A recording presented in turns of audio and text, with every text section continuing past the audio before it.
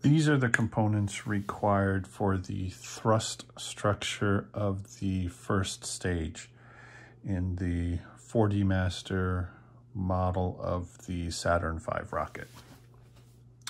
So in the instructions, there are not really any sequences for which to assemble first, but they are numbered from 9 through 15. So we'll just try and take them in numerical order. To do that will be, this is number 9 and 10. And they fit on this piece, which is number 13. And this section is for the clear piece that will go on there. So piece number 10 looks to fit into this. See, there you go press fit. I'm not going to use any glue. Holds well enough. Always come back and glue it later. It does stick out a little bit, such as that. Nine goes into this structure and you'll see one of the tabs has a hole in it, the others don't. And this goes into that hole with the flat side on the inside. And then you just want to press fit it so it's flush. And They're pretty good. You could always remove it if you wanted to, but press fit. 11, all of these are 11 with a decal and a clear section. Let's do, we'll add the clear one.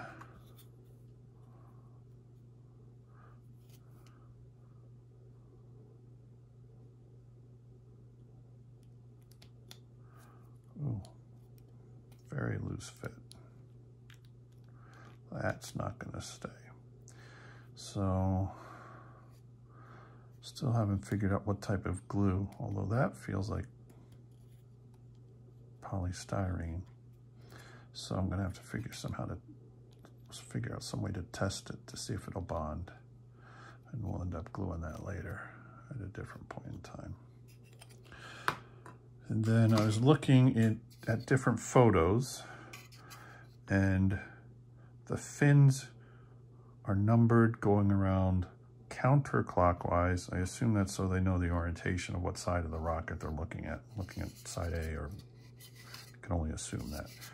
Again, and so A would be opposite of C, which is on the clear one. So we'll take A put it opposite of where the clear will go. Again, two corresponding holes. This one has a little tighter fit.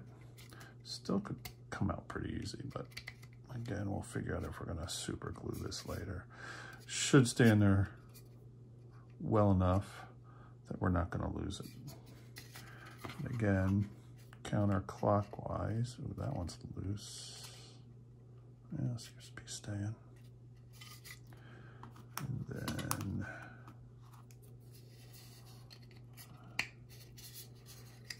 D. That one was pretty good tight fit. I don't think that one would go anywhere.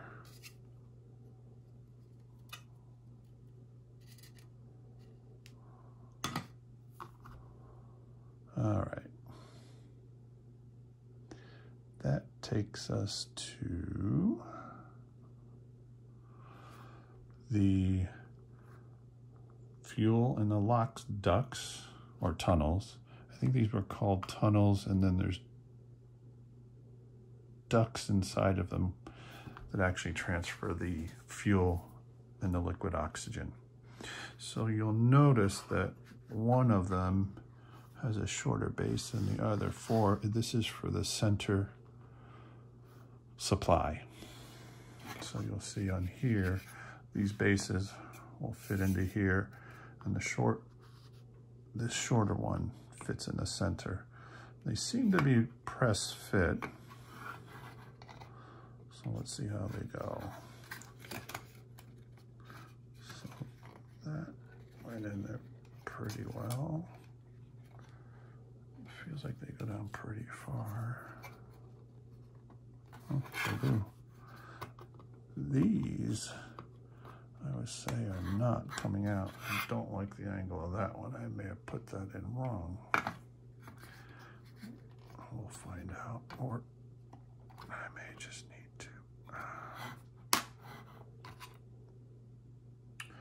Uh, so I did put it wrong. If you look carefully, these are beveled and then you want them facing in towards the center. So the instructions don't really show that bevel. So you gotta figure this out. So now I gotta get that one I just put in taken out without breaking it. Let's see how, because that went in pretty deep and tight. Oh, it's coming out. All right, cool. Yeah, this one is beveled too. So you want to take that bevel and make sure it angles in towards the center of the rocket. See, you can learn from my mistakes.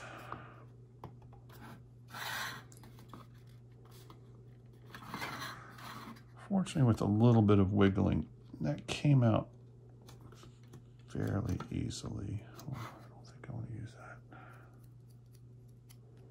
that. These pieces, I believe, should be all the same. Let's just make sure we get the bevel in the right direction.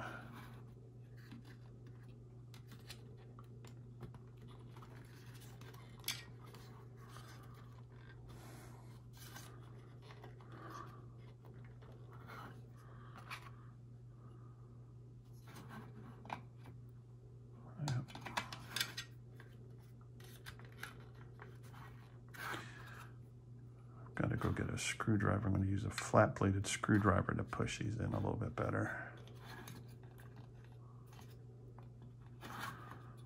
And some of them seem to have a little flash on them. So it makes it a little harder than the others to get it in. Take the bevel, make sure we've got it the right way. So they're all facing in towards the rocket. So you'll have something like that. They still have to finish pushing them in all the way.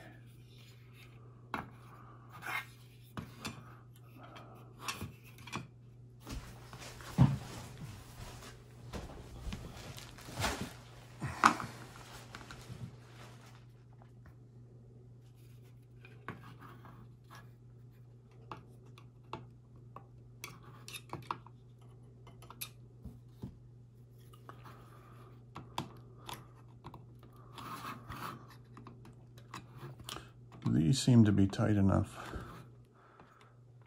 I would think they wouldn't need any glue.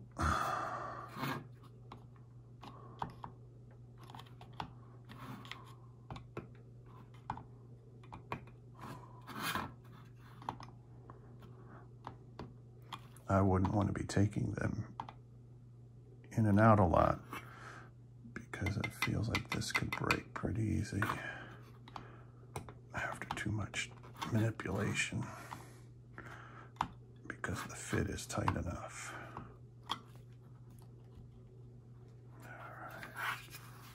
That's actually pretty even once they're all in place.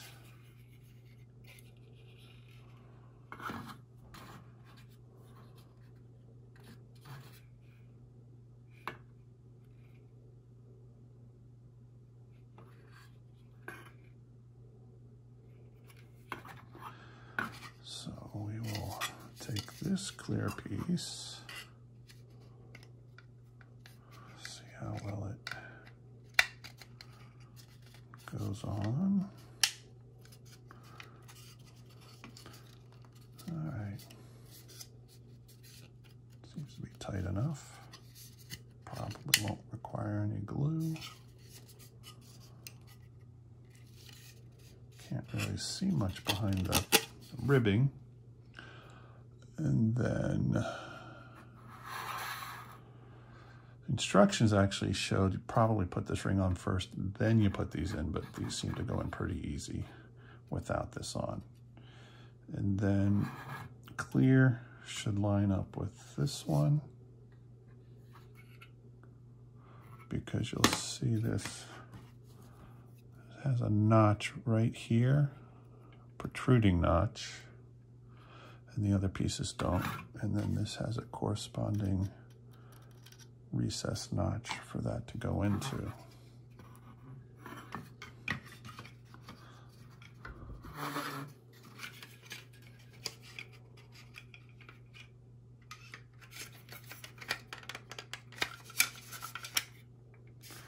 So that slides in there pretty well. Supposed to keep it in there because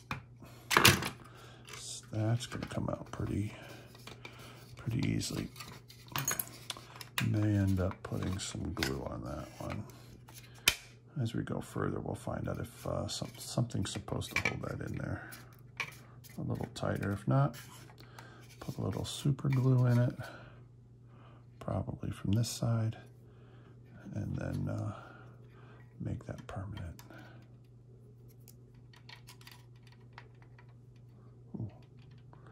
So there we have the completed thrust, thrust structure for the bottom of the first stage.